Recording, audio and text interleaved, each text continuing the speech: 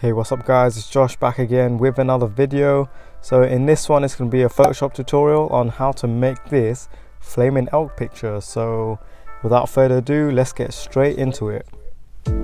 Alright guys so in this one it's not that hard to do. So if you know how to generally use Photoshop it's not that difficult.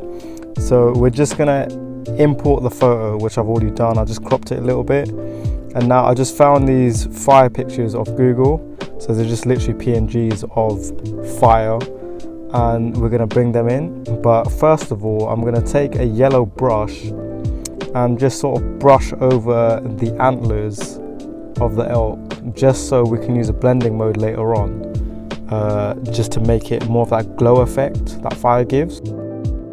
So yeah, we're just gonna let that happen.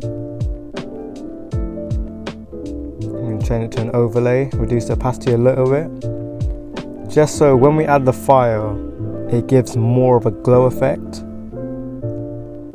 Just adding another fire there.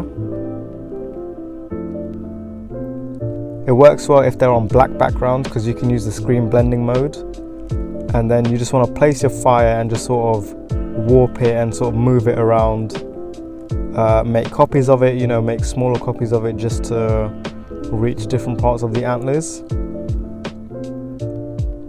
and the nice thing about this picture is the picture of the elk itself is already sort of like lit around um, you know where like the fur is and stuff. So it sort of matches with the fire already.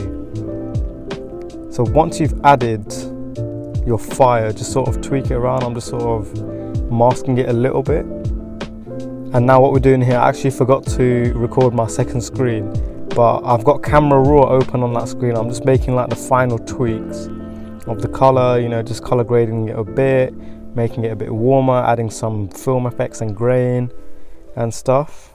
This part is all up to you guys the kind of tweaks that you want to make to your final picture.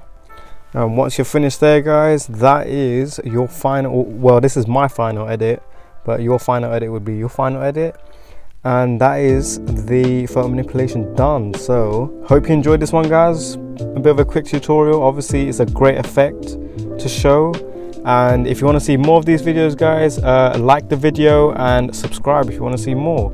So thanks for watching this one guys. See you in the next one